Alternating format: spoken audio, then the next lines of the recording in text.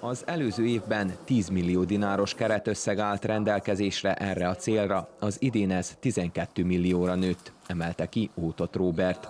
A tartományi mezőgazdasági titkár helyettes közölte, hogy összesen 9 millió 700 ezer dinárt ítéltek oda 16 sikeres pályázónak egy-egy pályázó maximálisan 800 ezer dinár tudott elnyerni, és egészen magas támogatási intenzitást tudtunk az idei évben nyújtani, ugyanis a befektetés adó nélküli összegének a 80%-át tudta a tartományi mezőgazdasági titkárság támogatni.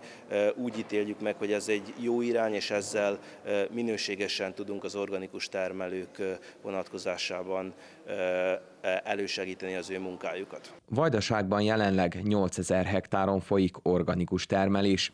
A kiszácsi Vladimir Vozár már több mint 30 éve foglalkozik organikus termeléssel, idén pedig eke beszerzésére pályázott.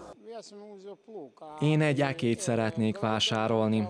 Arra törekszünk, hogy minél kevesebb üzemanyagot fogyasszunk, de mégis jól tudjunk teljesíteni. Ahogy látom, a jelenlegi üzemanyagárak függvényében ez sokat jelent majd a számomra. Őszre egy újabb pályázatot ír ki az illetékes titkárság az organikus termeléssel foglalkozó gazdák számára, amely által a tanúsítványok megszerzését támogatják, közölte Ótot Robert.